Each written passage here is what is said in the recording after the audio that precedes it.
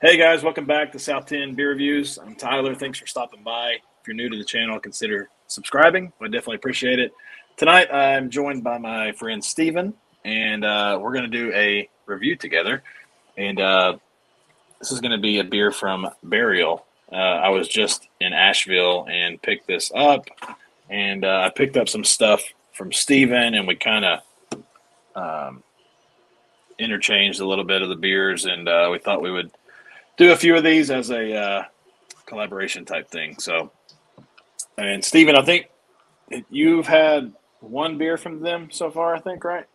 Um, yeah. Uh, the names of these escape me. So I know they're so drawn out and crazy. they're Uh, poetic and yeah, long. sure. Yeah, this one's actually called "Instructions for the Underworld." Uh, This is actually one that I picked out and you didn't. yeah, right? Yeah, yeah. Um, All you found at the apex of- insanity. yeah, that was the other one. Yes. Um, I'm not gonna read all this because it's just some crazy, crazy thing on the on the label there. But um, this one says it's made with the holy trinity of incognito, cryo, and hop pellets, uh, double dry hopped with Citra, Motueka, Cashmere, and Centennial. So it's got a nice little bit of uh, new school stuff and old school. The Centennial is more old school, and Citra has kind of been around for a long time. Uh, any ideas on what's going on with this label? It kind of looks like an eyeball and the skeleton in an eyeball. Yeah. Um, crazy looking can. I'm not gonna lie to you. I was on their site, and there's a few. There are a few things that drew me to this can specifically. Okay. Number one is the can art. It was the only one that I don't know. Maybe it wasn't the only one with the skeleton, but it was the it was the one with like a full skeleton that kind of drew drew my attention. Yeah. Uh, the words on it. I know you said not to read them. Oh, I mean, we can. Um, it doesn't matter. Well, I'm saying, I read it on the site and I was Yeah. like, that, that kind of drew me in. And now we other gotta tell in is that this is the the name of this beer is a lot shorter than the rest of them. That's true. I'm not gonna lie to you, that played a part. Yeah, yeah, yeah. So this one, I'll go ahead and read it. It says, This was a resolution with the gods, a perpetual isolation within a tomb that embodies the most ter- terrifying concepts, a place that promised eternal understanding. Perhaps it was intended to make us numb to damaging or damning thoughts. Sorry. Made with barley, oats, and then the part I already read about the hops. So, yeah, that's pretty cool. And this one comes in at 6.6%. So, Yep. um, I was gonna say Mine's been sitting out for- I've, I've seen like- it for a while now. Yeah, I feel like mine's been sitting out for like 40 minutes. So, uh, Mine was sitting out for a while, but then I, I felt like it was sitting out a little too long, so I, I went and swapped it for a colder one. Well, I had to wait on Dan from FLX Beer Reviews to give me the code for StreamYard so we could do this video. So thanks, Dan, for this warm ass beer. No, I'm kidding. It'll probably be fine. Uh, let's go ahead and pour it. Have you already opened yours? Yep. I'm not gonna lie, the smell smacked me in the face as soon as I I smelled it. I kind of am away from it, so I haven't smelled it yet. But It smacked me right in the mouth and nose. I don't pour oh man, I'm smelling it now. It, it, yeah, the smell is in the air for real. All right, Um, here's the here's the the color. is yours going to look like mud again? I'm afraid so, but yep, that gun. Kind of. it's just your attic is like a. It's coming along. I, I I don't know if people who watch the videos have noticed, but Yeah, you got some sort of wall we now. got some spray foam insulation, and I'm starting to put up the drywall. So Yeah.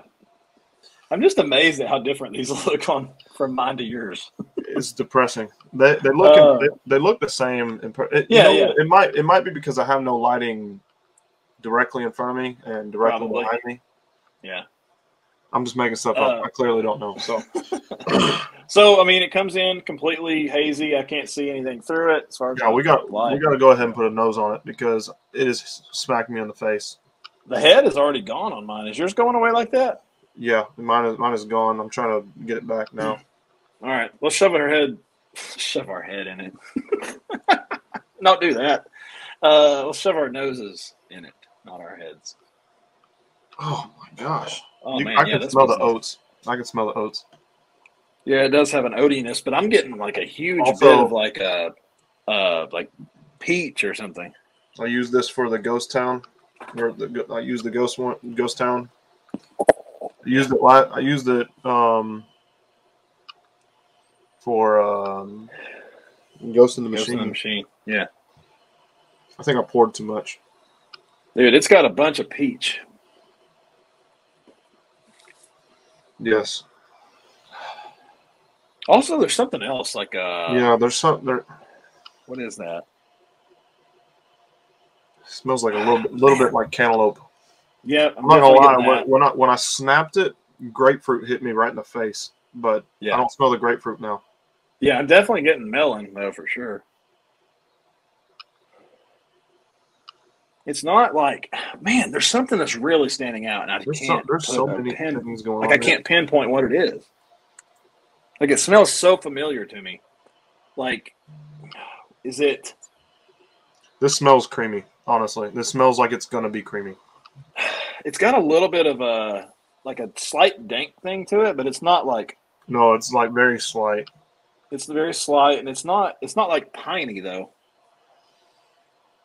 It's more like, God, man, I don't even know how to word it. Like, I feel like I'm on. This is my first beer review because I can't put any words in here, but like, I mean, it's different though. I mean, it's got a lot of a lot of uh, bright, like citrusy fruits as well, though. On top of that peach, orange, a little bit of tiny bit of grapefruit,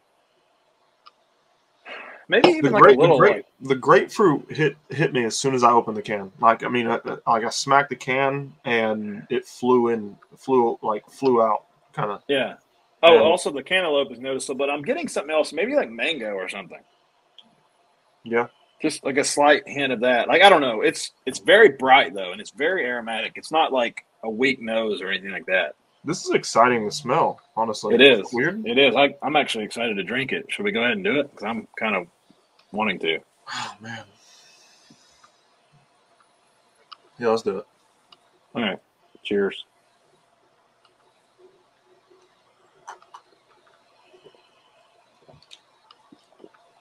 Yeah, Wow. the mouthfeel is there. It is, and it. This one's more juice forward than some of the other burial beers Yeah. I've had.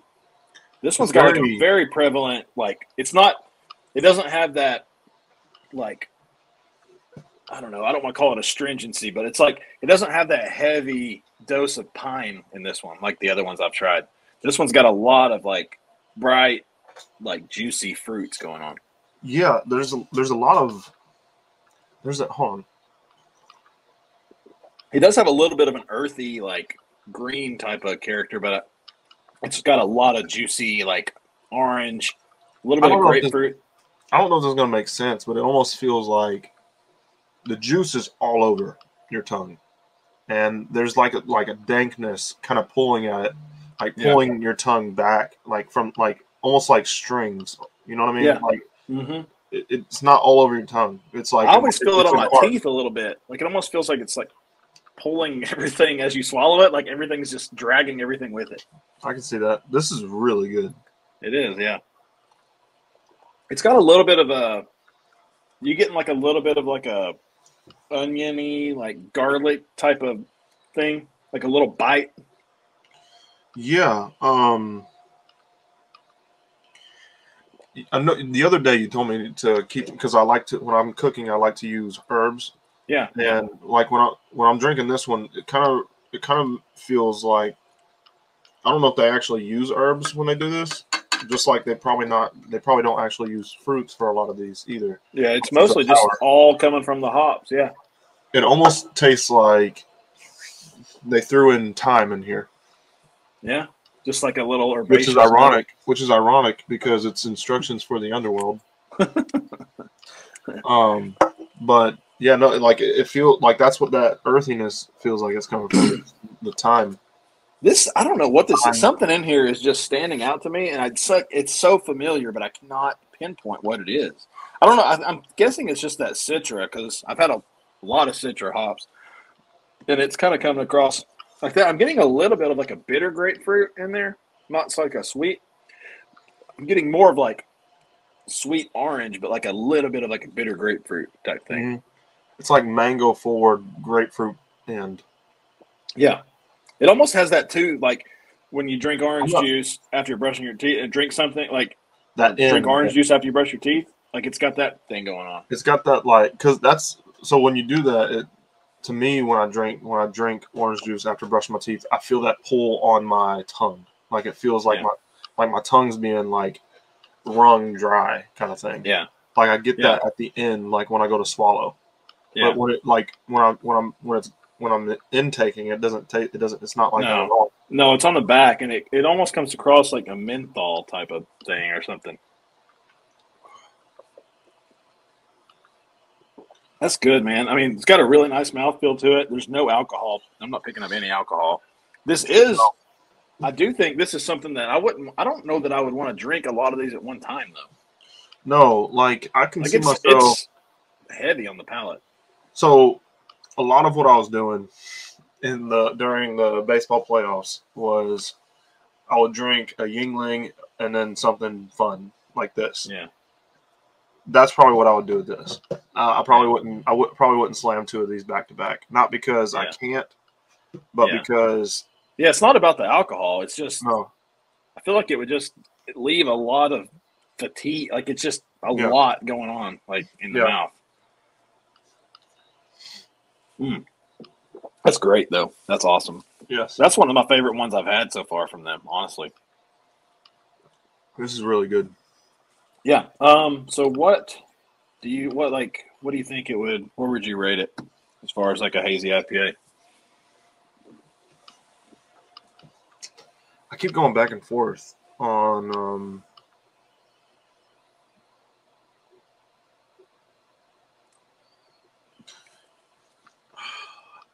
I'm. I don't know, man. Uh, I'm leaning towards four five, but I'm right there in the middle between four five and four two five. Yeah. Um. If I would have been able to go there, I would have. I would have said like four four. Yeah. Um. But I'm probably just gonna stay on four five. Um. I, I'm generous when it comes to rating beers, anyways. Uh, I don't know if that's my lack of experience, but Hey, um, it- what it is, what it is, man. hey, I'm I'm just a happy guy. That's easy to Hey, easy to please.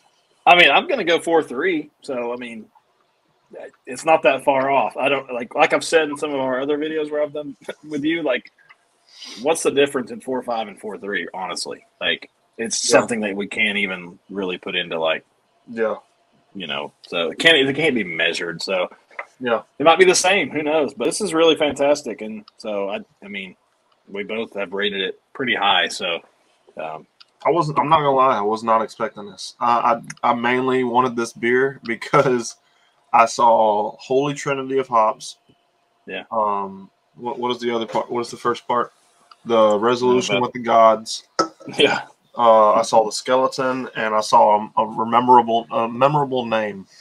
Hey, labels on beer. I buy them all the time because of the label. So Hey, Yes. marketing for you, man. hey, all of the hey. Anybody watching this, you go to Burial, you go to their site. All their cans are killer. Literally. Yeah, yeah, for places. sure. And they ship But- to a lot of places too. That unfortunately they don't ship to us in Tennessee, but they do ship to a lot of different states. So uh, if you want to try their stuff, go to their website and check them out. But Uh, anyway, yeah. labels. So So Stephen went four five. I know, right? Stephen went four five. I'm going four three, and uh, hopefully you guys enjoyed the video. If you did, leave a like and a comment. Let us know what you think, and we will see you in the next one. We got one more we're gonna do at some point soon. So Yeah, so like a mini series, Who, Yeah. whatever. Label it whatever. see you guys. Cheers.